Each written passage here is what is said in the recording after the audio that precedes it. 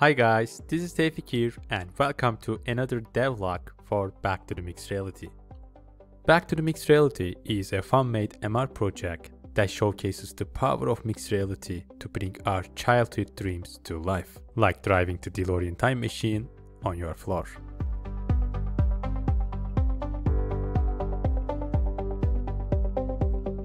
Since the project's launch, we received incredible support and feedback, inspiring us to add even more features. So in this video, I want to share the upcoming features and gather your thoughts. Let's get started.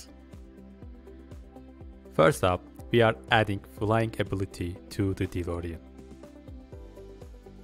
I know that the regular time travel within the roads is fun enough but where we are going, we don't need roads. Given my aerospace engineering background, I'm planning to build a quadcopter-like system to pilot the DeLorean easily through mixed reality skies.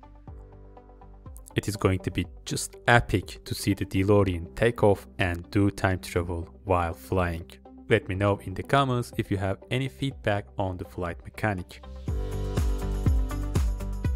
Next, we are introducing a virtual reality mode that will allow us to see the inside of the DeLorean with full immersion.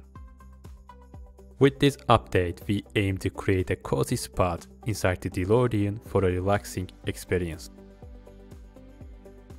Imagine sitting the iconic DeLorean listening to the soothing sound of rain and your chosen music in the background. It will be an amazing experience. Next, we are planning to implement a community suggested feature, which is to add Easter eggs linked to iconic dates from the movie series.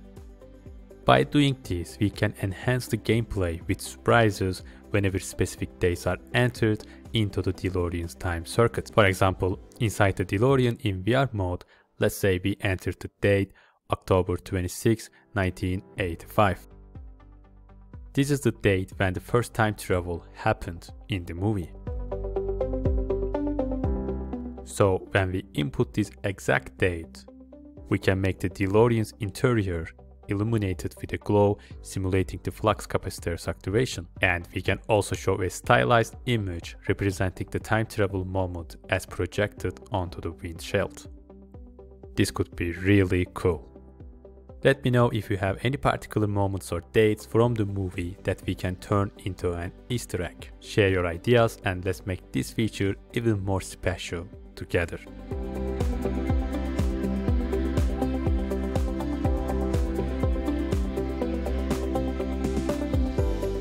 Alright, lastly, some improvements are underway for the core time travel experience.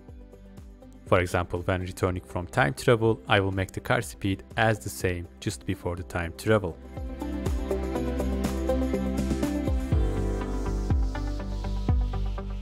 Also, I need to work on the feel of the speed of the car based on its scale and room size. Because right now it does not feel like going at 88 miles per hour. And of course, I will scale down the car a bit so that it can do time travel in small rooms more easily. Alright, these are the main features and bug fixes planned for the short term.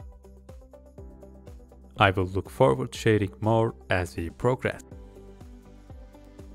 Let me know in the comments if you have any ideas or feedback on the development of Back to the Mixed Reality game. Feel free to become a part of the development process.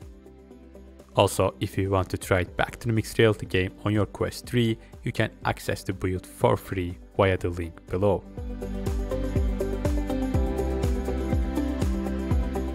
By the way, you can also learn how I built this project from scratch with a dedicated online course here. Stay tuned for more updates and thank you for your support.